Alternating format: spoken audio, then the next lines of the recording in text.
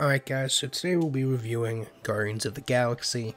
My last video was a first impressions video. It, it, ran a bit obnoxiously long, but I didn't talk about the story or any spoiler stuff just because I wanted to keep it spoiler free. But beating the game now, it's been out long enough to where most people who are gonna get it would have played it and most likely would have beat it. Alright, so there's gonna be spoilers in here, story, gameplay, cutscene, outfits, collectibles, everything. Alright, so nothing's gonna be held back. If you don't want spoilers, go watch my first impressions video or go finish the game and then come back here and watch this one. So what is Guardians of the Galaxy? What type of game is it? So, while it's made from the same developers and publisher as the Avengers game. In most cases, it could not be more different. Guardians of the Galaxy is a linear story game. If you don't know what that means, basically, you, you, you get a cutscene, you go to your square room where you fight enemies, and then you get another cutscene through the entire game. There's no open world or multiplayer or any extra modes or anything like that. It's just a story that you play through once, and that's it. And while there are choices and all that stuff, we'll get into that later, there's not really any replayability here.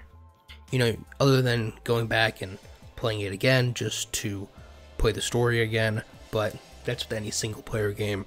But aside from that, there's no reason for you to play this again. So, how long are you expecting to play this? Well, you know, I'm not really sure what range to ever give with single player games because there are people out there that just skip all the cutscenes and don't care about the story and just want to play it for the gameplay, which is that's your thing.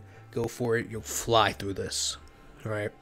If you play it at what I would call a moderate pace, watching all the cutscenes, exploring a little bit, but not going and looking for every single collectible, you're gonna come in somewhere around 15 hours, right? And then that pushes up another 20, depending on if you're gonna run around and collect every single collectible and search every inch of the map.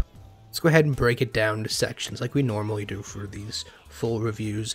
And so I don't typically start with the gameplay or the combat in this case. But for me, that was the part I was the most skeptical on watching the trailers and seeing gameplay before I actually played it. I was not sold on the gameplay. It looked very generic and just boring. And so what you see is pretty much what you get, right? There's four abilities for each character, really three with the super ability that you unlock towards the end for each individual character. You fight different enemy types, and there are a large range of enemy types, right? There's, there's flying types that are super fast, brutes that take a lot of damage, regular grunts, certain different types of enemies you need to use your elemental guns to do different types of damage to stagger them, whether it's fire or wind, ice, and I'm forgetting lightning, that's the other one. And so that combined with four abilities for each character, there's, if you count the elemental guns, 24 different unique elements of combat. And so let's talk about these abilities, right? So everyone starts out with one ability when the game starts, and then you unlock the rest as you progress, right? I think Peter's, I think you start out with you can just fly for a bit. Rocket drops a cluster grenade, Drax just like attacks people, Gamora does the same, and Groot holds them in place, right? And so they each kind of had a distinct ability. Drax and Gamora are more for heavy one damage target type moves. Groot holds people in place, and Rocket's ability is for a large amount of enemies. So I thought that was going to continue through their abilities, and you would just get better, more damaging versions. But instead, what they do is kind of give everybody, you know, one of these abilities. For example, I thought all of Groot's abilities were going to be more restraining type abilities, right? And while he does have two of them, Rocket also has, you know, an ability where he can hold people in place. So does Drax. So they really give every ability type the, the restraining, the damage, the, the multi enemy.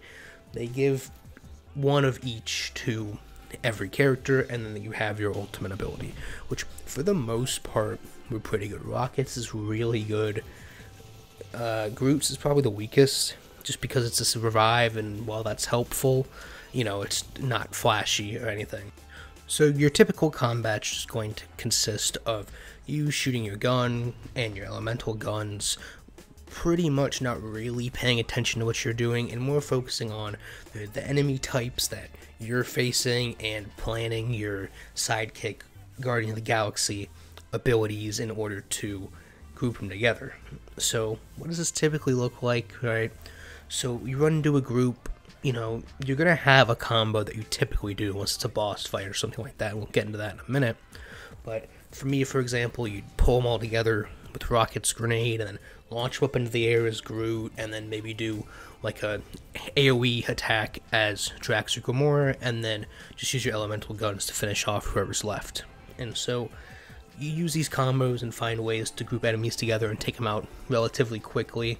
And so that's the general combat, right? Other than walking around, which is a large majority of the game, and kind of just exploring the environment and traversing and all of that stuff, that's what you're going to be doing, right? Now let's move on to boss fights. Obviously, you're watching a boss fight right now.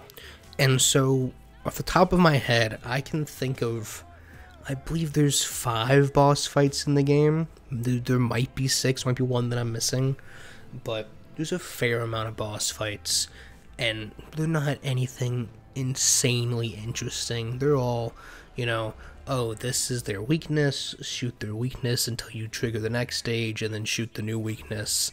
And, you know, it's your typical thing, right? And you just do that over and over and over until you beat the boss right? But it is what it is. It's the same thing that goes for the gameplay. It's nothing new or unique, but it works. That's why so many games do it. So when you're not in combat, you're going to be walking around the map, like I said, traversing the level, right? Getting from point A to point B. And you'll use your elemental guns and your guardian abilities and all that stuff to kind of traverse things. But there's collectibles to get, right? There's things for crafting, which could be you know, more damage when doing this, you know, sliding damage, don't take fall damage, extra health, all types of just passive stuff. And then some more unique abilities that honestly aren't really great, but they just serve more gameplay. So there's these collectible pieces that you're picking up, the crafting resources, right? And honestly, I don't think this helped the game much. It didn't hurt it in any way. I mean, it's just more content, right? But it didn't do anything for it.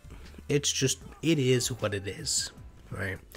And so you get your crafting abilities, at least on the normal difficulty. Maybe on the higher difficulties, you need these abilities. You have to strategically pick them, but I was pretty much just going down the list picking them because I didn't feel that I needed any buffs or anything in combat. I felt pretty strong. I'm pretty sure, other than falling off the map, I think I only died once, not counting falling off the map or bugs, right?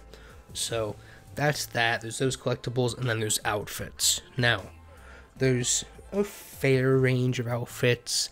The one you see in this clip is kind of the last level end game, just like the uh, the Avengers game does. Gives you an outfit right at the very end.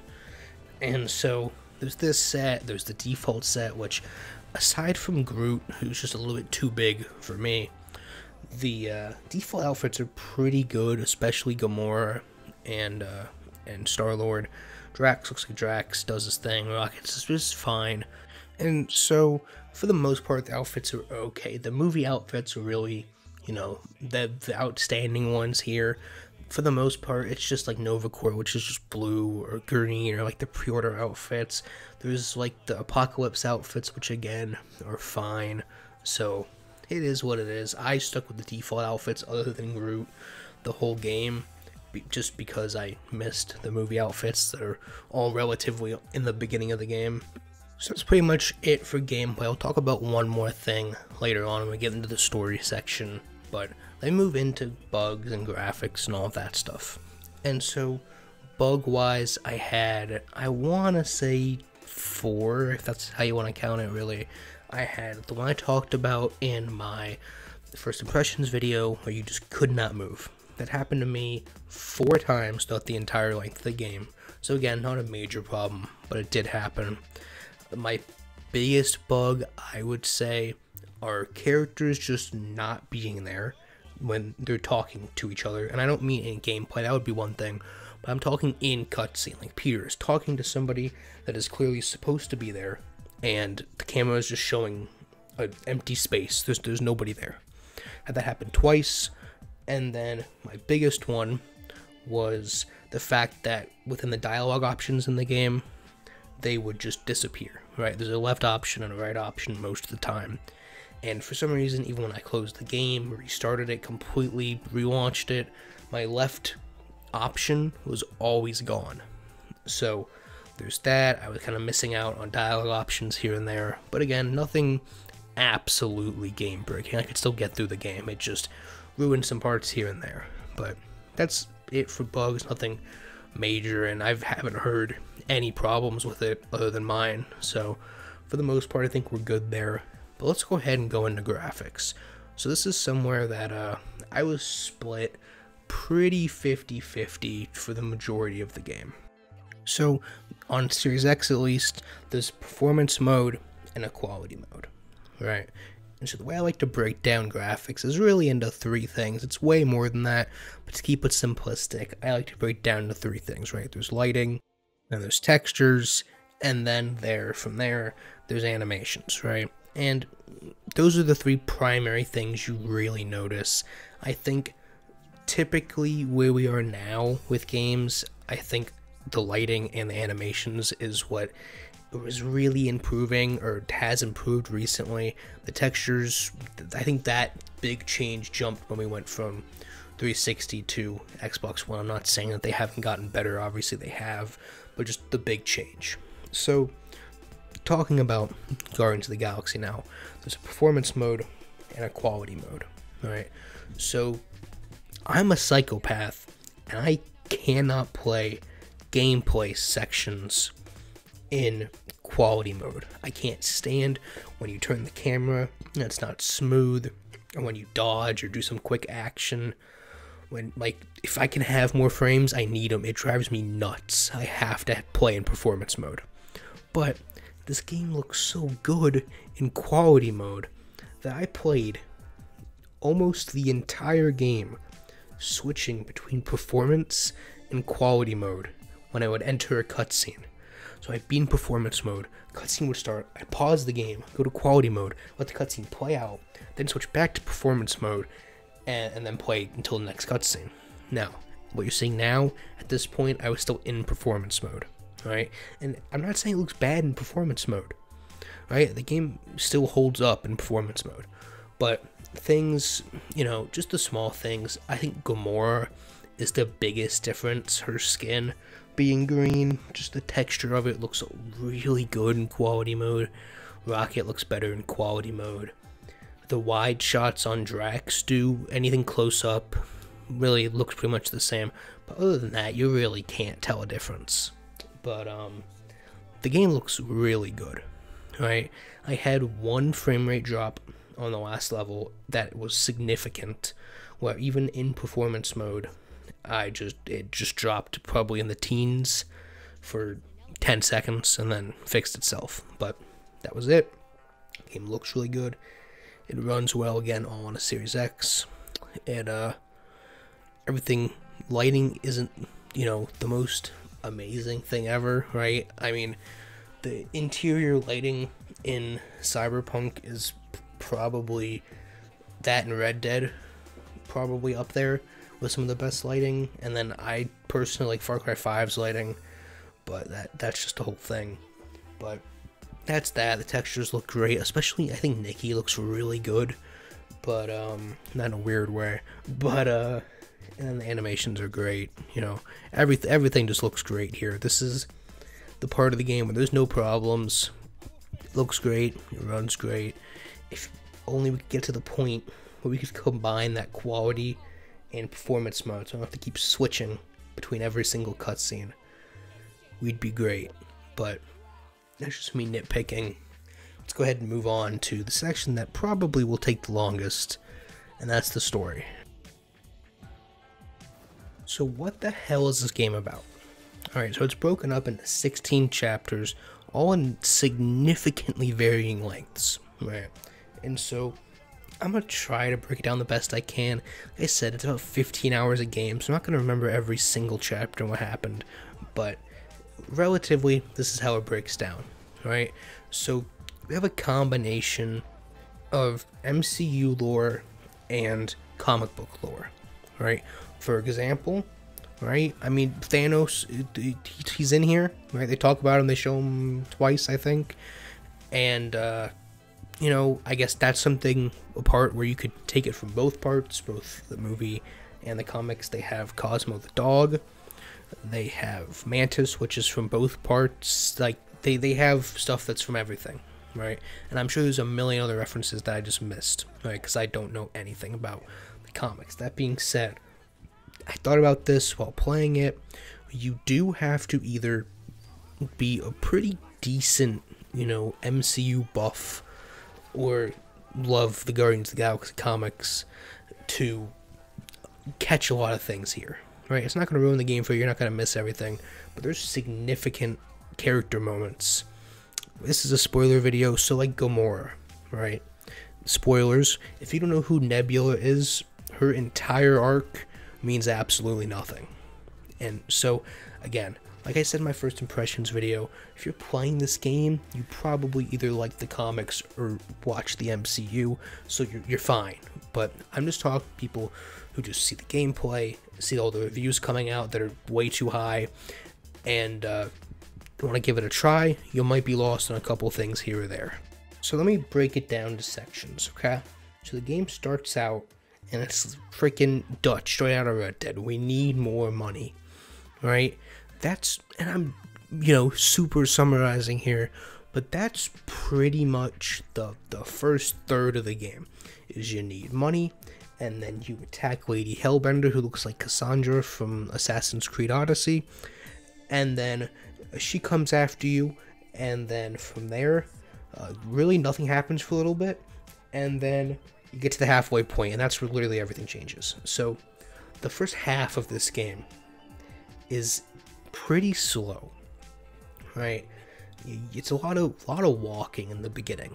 It's you, you need more money. You go around trying to figure out ways to make money, and then eventually, not until you can call it chapter seven to be nice, but it's pretty much chapter eight. Do they reveal the plot and who the bad guy is, right? And so that's pretty much your first half of the game is introducing characters that'll come back later the the Kree and, and Nova Corps and all of that stuff that you need for, for character points later on. Some, some bad guys here and there Lady Hellbender like I said who comes back later on. All that. So the first half of the game is pretty much just set up which for me was a bit much. I think you can do four chapters of that. It didn't need to be eight chapters. It, it stretched out a bit long so what's the second half of the game about? What's your plot? Right? So you set bad guy free, bad guy takes over maybe daughter, and then they take over people's mind, mind control, make them see what they want, and then they, they are basically slaves for them. And the Guardians have this whole thing where each of them go through their brainwashing thing. We'll get into that more later when we talk about their arcs. But it starts out with Peters, right? And it, like I said, this is the halfway point through the game, and this is when I was sold, right? This is this is 10 out of 10. Like top this is top tier. Somebody knew what they were doing. That is You don't know how bad I've wanted this. Oh, nothing will ever break us apart. I promise, Peter. I promise. I can't believe I have you back. Let go of me. Stop. Stop hugging me. Peter. It's okay. Peter, what are you doing? Of course it's me, sweetie. This isn't right. So here you have complete control over Peter, right? You have to pull away. You have to aim and eventually we'll get to it, you have to shoot. And what makes this even better for me, and this is just a unique case for me, my mic, I have mic arm, it was blocking my screen where it says aim and shoot in the bottom right corner. So I entirely figured this out on my own. Like I wasn't prompted, this is what I had to do. I figured this out, right? And I thought this was just really cool. And I mean, yeah, they, they, they basically do this in the second movie, but still, I liked it. They might even do it better here. All right. this is great. This this uh this really starts the second half of the game and gets you going. I'll just let this play out because this is by far the best scene in the game.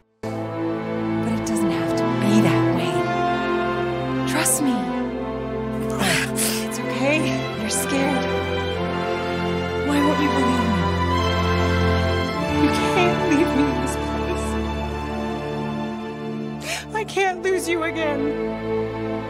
I won't.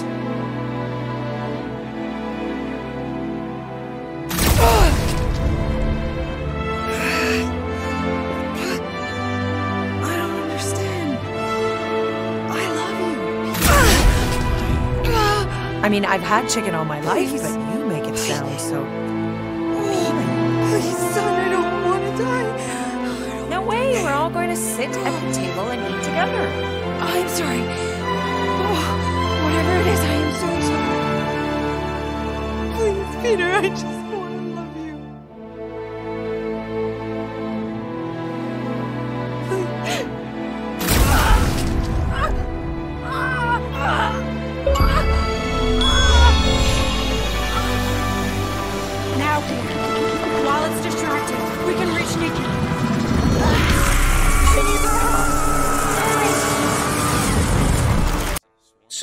this little goo thing that you saw just come out of his mom, it's the main bad guy. It takes over his what you think is his daughter, right? And then from there, they, they make people see their promise, which is just what they want in life, and then they, they do what they want. Like I said, they're slaves, and that's how they get their army. Eventually, it uh, it affects some of the main characters and so you got to stop them and stop them from taking over the galaxy, right? And that, that that's how it kind of starts the second half of the game, and I can't get over how good that is. So from here, it kind of just does its typical thing, right? It takes each character, breaks them down, gives them a chapter, kinda, and gives you the character arc, right? And so well, there are sections in here that I'm not really going to talk about, like where you go to nowhere and get captured, or, and you meet Cosmo. Like Cos- Cosmo's cool. Cosmo's 10 out of 10, like one of the best parts of the game. Don't get me wrong, but it's just not significant enough to sit here and talk about all day. So this is pretty much where Mantis becomes a significant character in the game. She comes with you on a majority of these later chapters and is kind of a prophet in this game. Not so much, she still has her MCU powers where she can take control of people's minds, but she also can see multiple futures or something along those lines. That might be a comic book thing. Like I said, I don't know anything about that. But, um, she's cool. She serves her purpose. She doesn't stay too long. She's in the game for I, I think like two or three chapters and then introduction earlier on. So she's in there a good length. And so, like I said, the rest of this game is just devoted to each character having their arc because chapter 8 is technically combined with the ending Peter's arc completed. And then so like I said earlier, Gamora has her arc and her whole thing is like she's the daughter of Thanos and, and killed people and was freaking abused by Thanos and had to kill her sister. And so there's like a little kid that's like getting taken control and then she's like sees herself in Nikki, so she has whole her whole arc there with that. And then Rocket Rocket's arc is straight out of Guardians 2, right? He's a monster and he's a bad guy, and so he acts like a bad guy, but he doesn't want to be a bad guy. And then through demonstration throughout the whole movie or game, he realizes that he likes his, his new family, right? And this is his new family, the Guardians of the Galaxy. So his arc is is good. Gamora's arc is good. Drax's arc is kind of intertwined with another arc. So with Drax, what they do is they use his arc where he's mind controlled and he follows his promise to introduce both Mantis as a bigger character and Adam Warlock. And so Drax's whole arc, I guess we won't do this chronologically. He sees his family and his, his wife and daughter that got killed by Thanos, and he just spends time with them. You have to actually break him out of his promise. That's a whole chapter or two. And so when you finish these arcs and help these characters, you know, move on from their past, you get their ultimate abilities, which is a good touch. It's, it's cool. I think Groot's is the only one that's weak, and we'll get to that later. But let's go back a bit. Like I already talked about Mantis. I want to talk about Adam Warlock. I don't think he needed to be here, right? I think uh, could have taken him out of the game completely. They don't need him, right? They pretty much just introduced Mantis like a chapter or two ago as a main character at the point he's introduced, and you could have you could have just left it there. You don't really need him. He he goes after the Unifier, and then he's kind of gone for a bit, and then he's there at the end. He doesn't really do much. He serves as spoilers, a final villain, but that's pretty much it. It's more of a name drop than anything. So I think that's pretty much their biggest flaw story wise is the pacing of the first half and Adam Warlock I just don't think needs to be here. But it is what it is. Now let's go ahead and you know wrap up what I'm gonna call the the final third of the game because really it's split into thirds, right? There's your we need more money phase where they're just kind of doing introductions, setting up characters, introducing you to your quote daughter and all of that stuff, and then Lady Hellbender and the Razor, whatever the hell her name is, and then the, the middle half introduces the bad guys and puts you through all of your character arcs, and then you have your your final act, your final three four chapters that are the final fight, and so I haven't talked about Groot's arc because it's not significant at all. I don't even remember what happens. Right? Rockets is definitely the best. Gamora's is good, and Drax's is pretty good, but this kind of continues over into the later chapters. We have to go hunt a giant dragon I showed the boss fight for earlier. That gets Lady Hellraiser Bender, whatever the hell her name is, on your side for the final fight his his arc kind of continues there with his people going and talking about their whole Valhalla thing, right? But Groot, he, he just like saves you, like he does what he does in the the end of the first Guardians movie, and like oh that's his arc, he has his ultimate ability now. That's fine, right? It is what it is. But something that I found interesting is as you complete these characters' arcs and get through their problems, it actually progresses the gameplay. So as you're playing, you might need a bridge, or you might d- d- destroy a wall, or cut something open, or hack something, right? You use the Guardians, their special abilities to get past these obstacles, and for the majority of the game, you have to do it yourself. You have to command them to do it. Once you've completed their arc, they'll do these things themselves. You no longer have to command Rocket to hack something or Gamora to cut through something. They just do it naturally because you're more bonded now. And this is where that other gameplay mechanic that I never talked about comes into play. So there's a form of an ultimate here where you rally the team and you all come together and they give a little speech. You have to listen to what they say and choose an option. And depending on what you choose, you either buff the whole team or you just buff yourself. Man, I have two problems with this. One, I've chosen what I thought was the wrong thing on purpose just to see what would happen multiple times and it ended up being the right thing. There's really, you know, no negative outcome. Both, you know, options of the speech that you give are either sometimes both positive or both negative. It, it seems kind of 50 50. It's not the greatest uh, system ever, but that's not my main problem with it. I think as a story component, right? As gameplay, it works as an ultimate ability for when you're in trouble and in the beginning sections where you don't have all these abilities and you need a quick way to do double damage and have more health. That makes sense. But as a story mechanic, it could have been used as, you know, do something extra with it, or maybe not introduce it at all until you've completed every single character's arc. There's enough game left where it could have been introduced as a new mechanic. Now that you're like reunited and and unified as a group and work together as a family or whatever. But you know it's not a big deal. I rarely used it. Like i said on normal difficulty you don't need it. But uh it would have been nice if they introduced it later on. I just think it would have had more story implications overall. But from here this is where you go capture the dragon you get lady hellbender razor whatever the hell her name is to come fight with you And then, you know, typical third act, go fight bad guy, you win, and then Nikki becomes like a Super Saiyan or something at the end. I don't know, but she gets like powers or whatever when you free her from the promise, defeat the Grand Unifier, and then the game rolls the credits, and then introduces you to the final fight.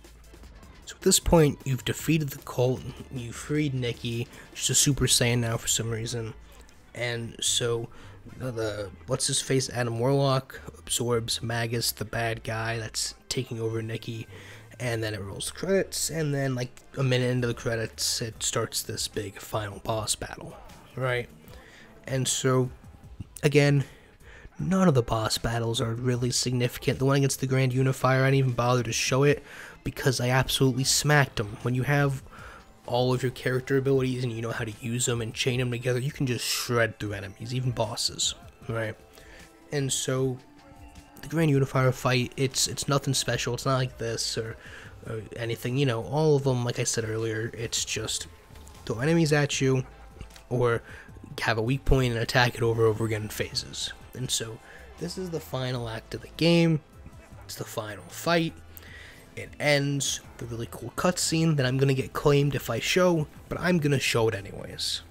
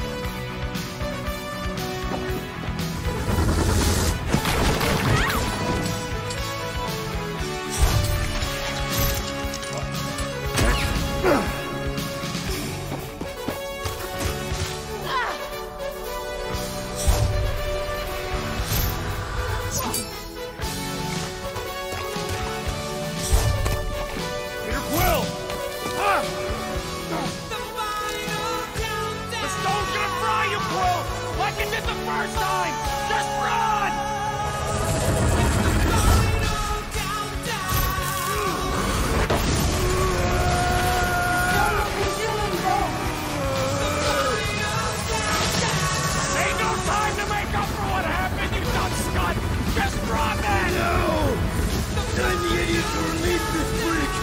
I'm gonna be the one who puts it back in its bottle!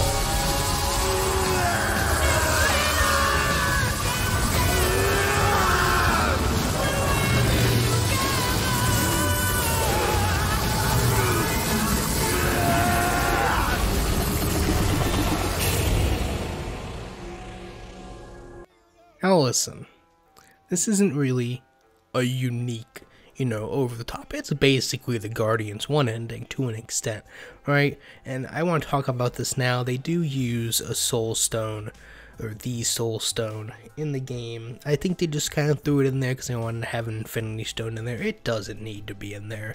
It's it's rarely used. It's brought up like three times throughout the whole game, but that was cool. I don't care how stupid it is. I don't I don't care that it had a quick time event as much as I hate quick time events. That was cool. Even watching it back now, it's awesome. So um yeah. What's the story overall basically just to sum it up really quickly? Like I said earlier, you release bad guy. Bad guy consumes daughter. Daughter leads cult. Uh, they show people what they want. Try to take over galaxy. Characters bond and become family. Defeat cult. Defeat bad guy. That that's pretty much it, right? And is it stupid? A little bit. Is it over the top? Yeah, but that's what Guardians of the Galaxy is. Now, nitpick thing that I purposely saved for the end because I didn't know what section to put it in. Right. So something you have to get used to. And it's gonna it's gonna annoy you. Because it annoyed me a lot in the beginning. Is they don't shut up. Like if you play something like Fallen Order, or that's just the most recent one, you could take Uncharted, Spider-Man, anything, right? for the most part, eventually, every now and then, they talk to themselves, right? But you don't really have a group of people that are constantly with you the whole time.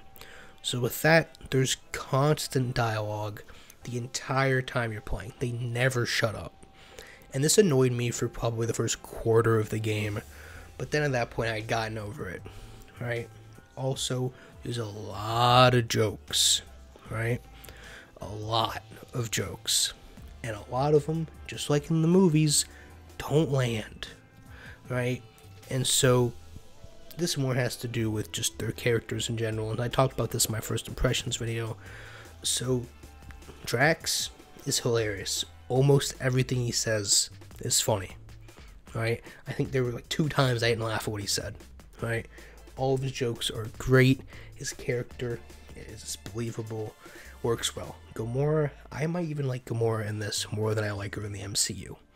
I don't know what it is, but I just I just like Gamora here. I think she works well. Rocket is straight out of the movies, right? So if you don't like him in the MCU, not gonna like him here, right? He he's mean, he's obnoxious, and then he freaking you fight and he quits, and then you, you have to bond to save everybody, and he comes back, right? Rocket's Rocket. Groot just says I am Groot the whole time. That's not really fair to judge. And like I said in my first impressions video, Star Lord, Peter Quill is probably the weakest of them all. I don't know what it is. I, like he's fine. It might just be the option that it gives you choices for dialogue, but even so, I was trying to choose what would seem most like what he would say, but it I, I just wasn't feeling it. I don't know what it was, but that's just me. But uh, so overall, they do talk a lot. A lot of the jokes don't land, but you do get over it. So, what do I give this game out of 10? Right? You know, my first impressions video, I sound really negative, and that's because I was at the halfway point. I think, surprisingly, the first half of this game is significantly worse than the second half, which I can't tell you the last time that was the case. Typically, they introduce all the cool gameplay, the interesting mechanics all through the first half of the game, and then don't really do anything in the second half, right? I mean, it just surprised me how much better the second half of this game is. Not the first half is bad, but the second half is just better. And so I was sitting when I was seeing all these reviews at like eights and nines, I was sitting at like a six or a seven, right? The combat doesn't really do anything special. The story was fine.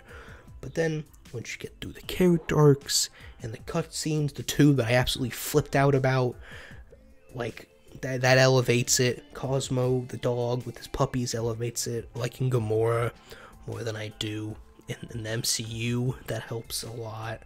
Like, there's just a lot of good things here. It's not a lot of bugs. It, runs well. It looks really good. The only negatives I have is the, the missed jokes and the terrible pacing at the beginning.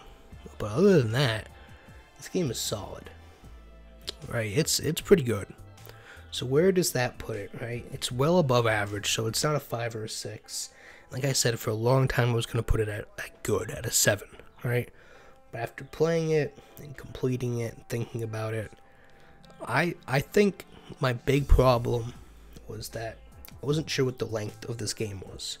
And so when I played through all that, that first half, I thought this was a majority of the game and this is boring as hell. But then I realized this is only half the game. Really, the, the super boring stuff is only a quarter of the game. So compared to the full runtime of the game, it's not that much of it. So overall, I'm gonna give Guardians of the Galaxy an 8 out. But that's my review. Guardians of the Galaxy we're getting there. We're getting through the games. We're getting into that part of the year. So next is probably going to be the Call of Duty campaign, and then multiplayer zombies for Call of Duty, Forza, and Jurassic World. I think probably in that order. I don't know, but uh, that all comes out like the same day, so that's gonna be a mess. Then I gotta deal with Battlefield. So that's what's coming up soon for me. You guys let me know what you thought of this game down comments below, and I'll see you guys on the next one.